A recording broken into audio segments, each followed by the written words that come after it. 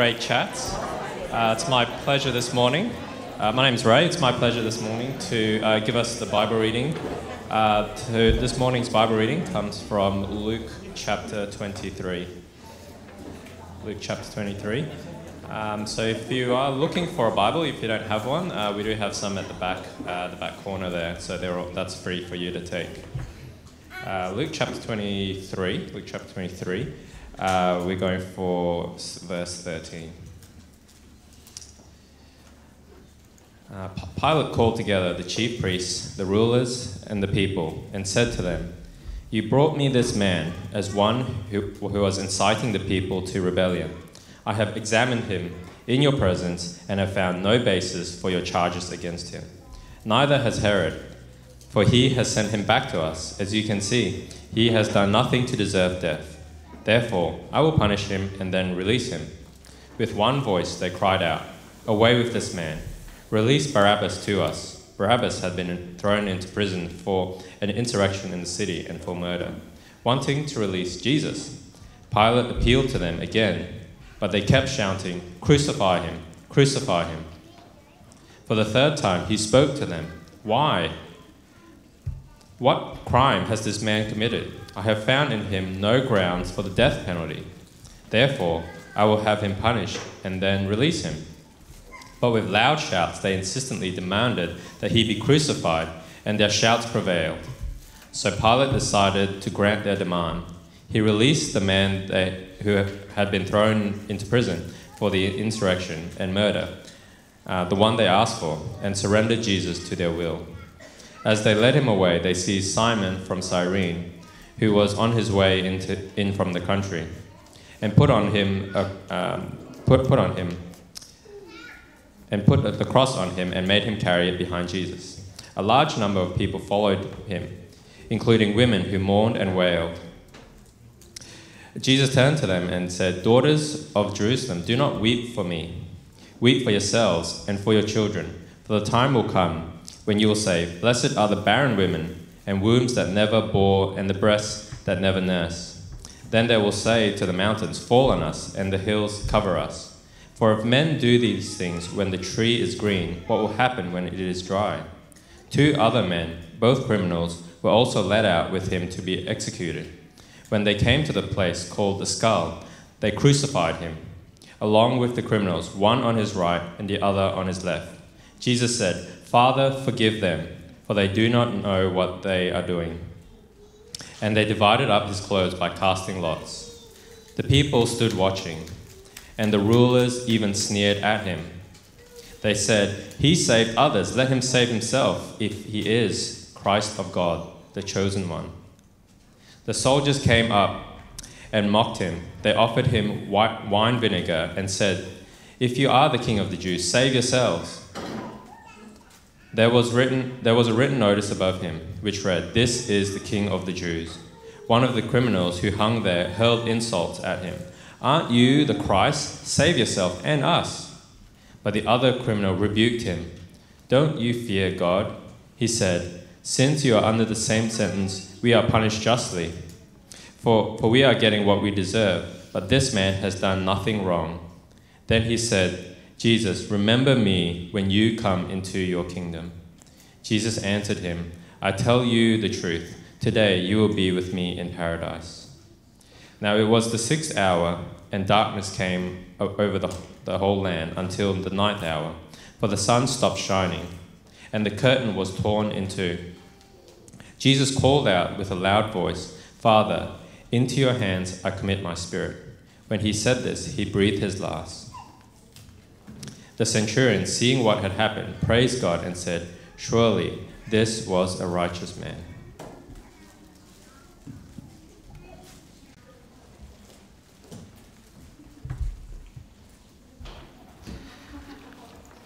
Thank you, Ray. Well, church, keep your Bibles open to uh, that story because we're going to be having a look at that uh, as we recount some of Jesus' last moments there as he heads toward the cross. But uh, hey, before we get there, though, I wanted to ask you about uh, what you're doing this weekend. You know, I hope that you, uh, as well as kind of being able to be part of our Easter celebration, be able to get out there and enjoy a bit of sunshine. Uh, maybe you're catching up on some chores, maybe you're catching up on some movies. You know, I've just had a little bit of time off, and one of my favourite things is to catch up on some of those movies that you might have missed. Now, one of the things about cinema right now is that there's not actually a whole lot of variety out there. You kind of have the decision between watching one Marvel movie to watching another Marvel movie. Am I right? That kind of seems to be all that's in the cinemas these days. Uh, because there is something that's alluring to it, isn't there? There's something of the spectacle. Like we would love to see our superheroes going to battle uh, to save the world, and there's something that's there that we enjoy watching. Uh, but one thing that I've always noticed about these superhero movies is that they're always so so clean, right? You know, Captain America, Mr. Clean Cut. There's lots of rubble and things blowing up, but it's never very gory. It's never, you know, there's these giant fights with aliens or whatever it is, and yet there's, it seems so clean. In fact, that's partly actually why I, I love, I love another type of epic. I love a different type of epic. I love the historical epic. You know, the kind of movie that is set in ancient Rome where it is uh, sandals and swords and it's dusty and it's gritty and, and, and there's all kinds of battles and, and, and, and there's something about that that is, uh, for me, it's a little bit like traveling back in time. You know, I'm always struck just by the brutality of that era. It does for us seem like a different place, a different time, a different world, not the kind of squeaky clean world that we have today. You see, this morning I'm going to be speaking on the crucifixion of Jesus Christ. But a harrowing moment 2,000 years ago that totally, completely changed the course of human history something that we celebrate, that we look to as Christians. We look to the cross as a sign and as a symbol of us.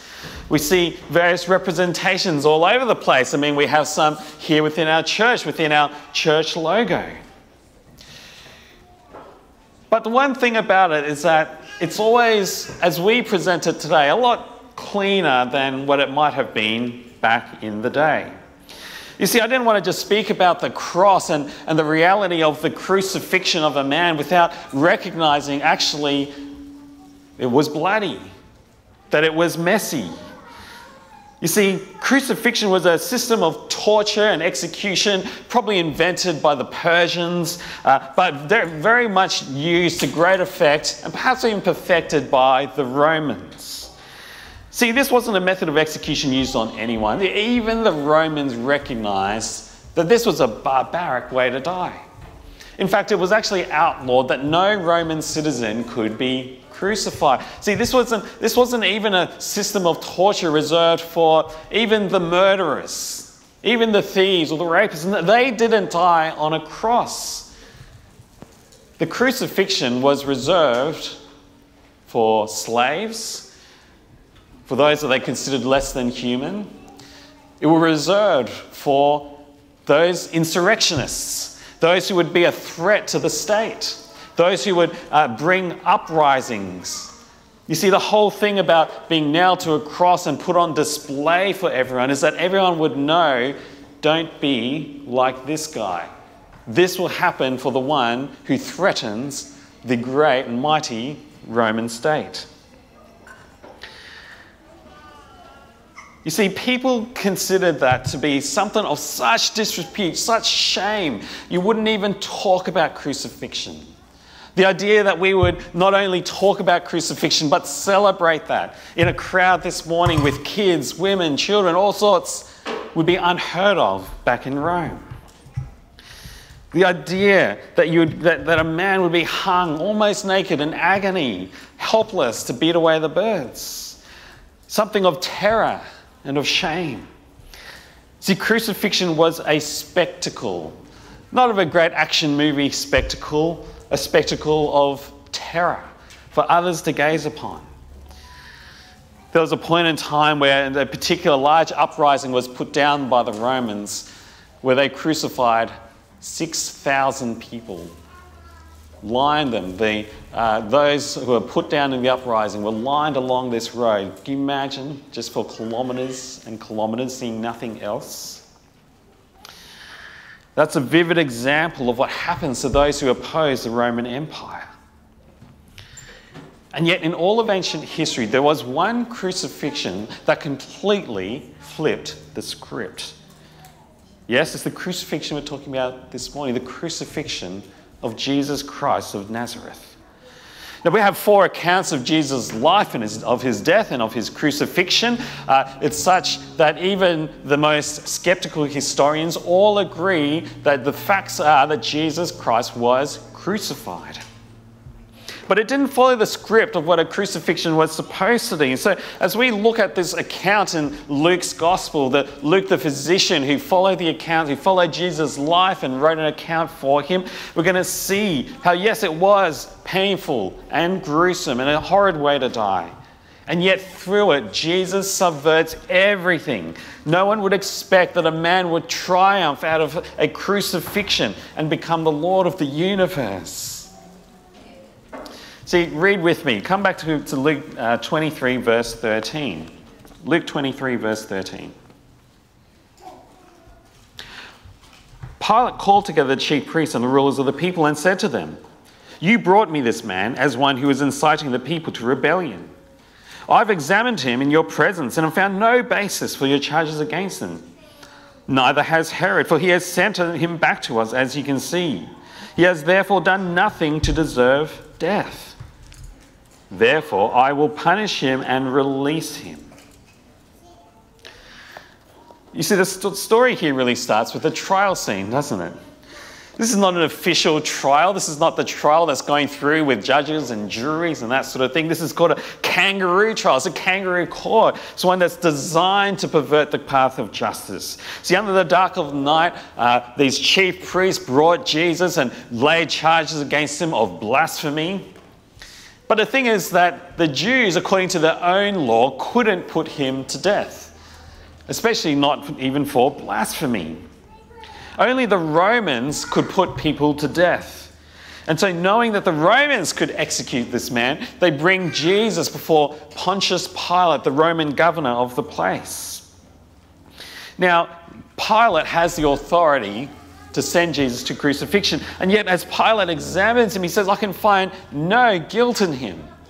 Not only I, but Herod, whom I sent him off to, neither of us could find anything wrong with him. Certainly nothing worthy of crucifixion. But sadly, as justice still in our world gets, often gets perverted, here we see Jesus who's ran through the system as they find a way to twist Pilate's arm in order to get what they want. Verse 18. But the whole crowd shouted, Away with this man! Release Barabbas to us! Barabbas had been thrown into prison for an insurrection in the city and for murder. Wanting to release Jesus, Pilate appealed to them again, but they kept shouting, Crucify him! Crucify him! And for the third time he spoke to them, Why? What crime has this man committed? I have found him no grounds for the death penalty. Therefore, I will have him punished and then release him. So, in their insistence and with Pilate wanting to keep the peace and, and avoid a riot, what does he do? But with loud shouts, they insistently demanded that he be crucified, and their shouts prevailed. So Pilate decided to grant their demand. He released the man who had been thrown into prison for insurrection and murder, the one they asked for, and surrendered Jesus to their will.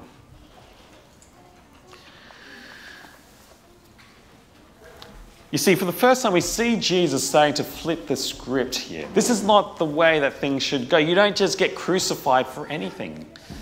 Jesus, being more or less proven by the system to be innocent, is in fact sentenced to death on the charge of insurrection, which clearly Jesus had not been guilty of. And yet, a man who had been guilty of insurrection and of murder, is released instead. The man known as Barabbas. Yet Jesus never protests. Did you see? Indeed, actually, as this whole scene unfolds, this is in fact something of Jesus' own purpose in going to the cross. See, one of Peter's closest disciples would write this about Jesus going to the cross. He said this For Christ also suffered once for sins, the righteous for the unrighteous, to bring you to God. On one hand, we see the pointless, unjust just death of one man for another. But in another hand, we see a great exchange has taken place. An unrighteous man is put to death, and an, an, an unrighteous man is released, while a righteous man is put to death. You see, in this in God's crazy, unfathomable planning, that's exactly the point of what's supposed to happen. We are Barabbas. We are the unrighteous. We may not be murderers and insurrectionists, but none of us can stand before the judgment seat of God and pretend that we have lived a completely righteous life. You see, I reckon in this day and age, we love to blame someone else for the problems of the world, don't we? You know, in politics, it's always, well, it's the conservatives' fault, or it's the progressives' fault, or it's the work crowd's fault. And then we look around the world and we go, oh, well, it's those dictators out there, the evil ones who invade countries. Or we say, oh, it's those kids from that bad suburb over there, they're the ones who are causing the problems. Or maybe the problems are the kids, or maybe it's their parents, or whatever it is, we can find someone else to blame, can't we? Makes us feel better about ourselves the problems of the world aren't because of us. But no one ever thinks to look inside themselves to see that the source of all the world's problems is a, something that is common to all of humanity. In fact, the testimony of Scripture is to say that in every human heart is a broken and sinful and rebellious heart. I mean, just imagine for a moment, right? Imagine if we downloaded your whole life, everything you've ever done in public or in private, every thought, every motivation. Imagine if we could download that onto a little USB stick and play that before everyone here today. In fact, I can't think of anything more horrific than that. But it does point to something that is a truth about our hearts, isn't it? We might like to put on the gloss that we've got it all together, that we are good, that we are perfect, that we have got things under control. And yet, in truth, deep down, we know that we are all flawed, that we have all got our issues, that we have all had our failures. We'd be deeply ashamed if someone truly knew what I was like. But Jesus flips the script. He doesn't blame anyone. He himself isn't guilty, and yet he, the innocent one, goes to the cross and takes the sins of the world. Martin Luther called it the great exchange, that our sins would become his and that his righteousness would become ours so that we could be set free. You know, when Bonnie and I got married, everything that I owned became hers, and everything that she owned became mine.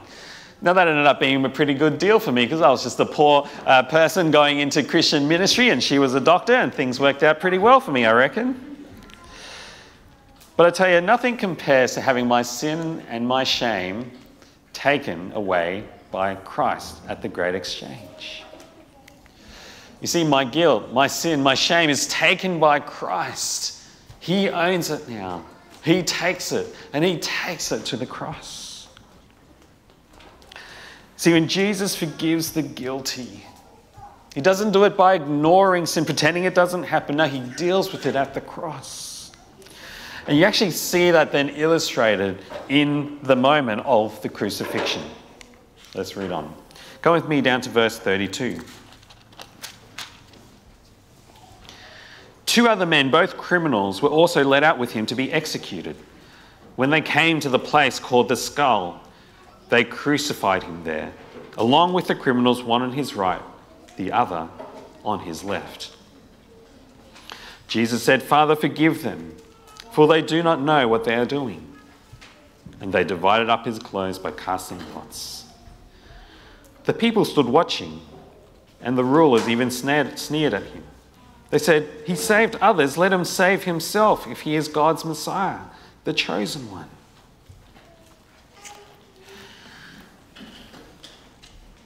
There was a written, uh, the soldiers came up and mocked him. They offered him wine vinegar and said, If you are the king of the Jews, save yourself. There was a written notice above him which read, This is the king of the Jews. One of the criminals who hung there hurled insults at him. Aren't you the Messiah? Save yourself and us. But the other criminal rebuked him. Don't you fear God, he said. Since you are under the same sentence, we are punished justly, for we are getting what our deeds deserve. But this man has done nothing wrong. Then he said, Jesus, remember me when you come into your kingdom. And Jesus answered him, Today, uh, truly I tell you, today you will be with me in paradise. You know, church, I reckon this is an absolutely remarkable scene. You see, as these three people are held up to an excruciating execution, an expect, a spectacle, this is not what we would expect. Two criminals justly sentenced. We don't know what for, but we know that they're not innocent. They confess as much, right? You don't lie when you're at the point of death. But one of them can recognize here that strung up next to him is one who can forgive sins. And Jesus there does it. He forgives the criminal and he, and uh, he promises paradise with him after death. Jesus, the one who even seeks forgiveness for those who would unjustly put him to death. See, who would do that? At my most painful and frustrating moments, what do I do? I lash out at others, but not Jesus. Not Jesus. Jesus offers the greatest gift known to mankind forgiveness for our darkest deeds, our guilt, our shame, and our death. The righteous for the unrighteous to bring you to God. But that's not all. Jesus then flips the script again. So we saw in that passage that the, the Romans mocked Jesus for his claimed titles the Messiah, the chosen one, the King of the Jews. Surely one who is so exalted and powerful, you could just save yourself. You see, surely these claims are false. As we're about to execute this guy's supposed Messiah. But Jesus flips the script, don't we? He dies but then he rises again, not just as the king of the Jews, not just the king of the Romans, but to the right hand of God as the king of the world. Indeed, as Paul the Apostle would later write, and being found in appearance as a man, he humbled himself by becoming obedient to the death, even death on a cross. Therefore, God exalted him to the highest place and gave him the name that is above every name, that at the name of Jesus every knee should bow in heaven and on earth and under the earth. And every tongue acknowledge that Jesus Christ is Lord to the glory of God the Father. You see, the Romans believed their Caesars to be divine. Some of them were even called the son of a god. As they sat on their throne, ruling over the greatest empire of the ancient world, every knee bowed to the Caesars. Their power was the power to torture others, not to suffer, their power was the power to execute who they like, to crucify who they like. It was, honestly, it was scandalous to hail a crucified man as divine. I mean, how is it that this crucified religious heretic could become greater than the Caesars? Now, you see, if it weren't true, well, the movement would have died out within months or years. Yet, this event, this death on the cross, would spark thousands that would inspire a movement that would go from the, the tens to the thousands to the millions. You see, the irony is that within a few hundred years, the Roman Caesars themselves would bow to Jesus as Lord. That even after the Roman Empire is gone, Jesus and his followers still stand strong on this earth, in every corner of this earth. See, this guy up here, this is the first Christian em- emperor called Constantine. He is one who finally outlawed this barbaric act of crucifixion. He did it really out of his worship of Christ. And at that point, Christianity wasn't just a little sect anymore, it was going global. And it all started from this event the crucifixion. You see, the Romans hoped that this spectacle would put to death any kind of uprising by the Jews. The chief priests hoped that this spectacle would put to death that this Jesus, who claimed to be uh, the, the Jewish Messiah, that they could put that to death. But the spectacle did the exact opposite, didn't it? Jesus gained millions of followers, became greater than the Caesars, the Jewish king who became the king of the world. This was a turning point in history. That all the heavens and the earth came to come and witness this event. This was a spectacle like no other. And yet Jesus triumphed over his accusers. He triumphs over sin. He triumphs over death. And he triumphs over Satan. And in doing so, he sets captives free. All those who carry the verdict of guilty can be called righteous for those who put their faith and trust in Him. Down this past week, I've had some holiday, so I've uh, grabbed a nice big fat book from the library. Uh, it's by a, one of the world's actually most prominent historians. His name is Tom Holland. Now, not to be confused with Spider Man, okay, if you're wondering, Spider, you know, Tom Holland's got a little side gig as a historian. No, Tom Holland, he's one of actually the top historians uh, in the world. He's not a Christian, but I do like him because he's an honest historian. He argues that actually human rights, belief in the equal dignity of every person, the value of the poor and the weak, the necessity of caring and advocating for the poor, all of them are values that are distinctly Christian. They didn't arise from Roman or Greek philosophy, it came before the Enlightenment. These ideas that only arose from the belief in a universe with a single personal God who created everything and everyone, the people in his image, and belief in a Savior who came and died in sacrificial love. See, for Tom Holland, the historian, the cross of Christ is what makes Christianity unthinkable, shameful, disgusting, and at the same time, the same ticket, the same story that completely changes the course of history. So he says this it's the audacity of it the audacity of finding in a twisted and defeated corpse the glory of the creator of the universe. That serves to explain more surely than anything else the sheer strangeness of Christianity and of the civilization to which it gave birth. You can see what he's saying, isn't it? This is a strange event. This is not the way things go. This is not the way crucifixion goes. And yet, as it plays out, the audacity that we would believe that strung up on that cross was the Son of God, the one who was exchanged for your sin and mine. It's audacious, it's bold, it's, it's no story that any human could possibly have written. But you know what? I reckon this is not just about the historians who acknowledge the power of this story of a crucified Saviour. You know, this is a story for me and for you. You know, my life, I've always wondered whether I'm worthy of, of being loved. You know, I'm, I'm someone who lives with a bit of imposter syndrome, you know. I don't know if you ever feel imposter syndrome where you, you wonder, well, if, if people really knew what I was like, would they love me? Would they reject me? Yet when I ca- encounter this story of a risen Saviour, I see a God who knows me inside and out, who does know my flaws, my failures, my addictions, and he comes down to earth. And he would face false accusation and the most painful and humiliating death that anyone can experience. And do it out of love for me and for you. See, dear friends, that is the power of the great exchange. Jesus taking the sins of the world. That is the Saviour we celebrate today. That is the Saviour who brings forgiveness and eternal life. Now, just read with me to the end of the story. Verse 44. It was now about noon, and darkness came over the whole land until three in the afternoon. For the sun stopped shining, and the curtain of the temple was torn in two. Jesus called out with a loud voice Father, into your hands I commit my spirit. And when he had said this, he breathed his last. The centurion, seeing what had happened, praised God and said, Surely this was a righteous man. You can see at this moment, there stands a centurion, someone who's probably witnessed hundreds, if not thousands, of crucifixions.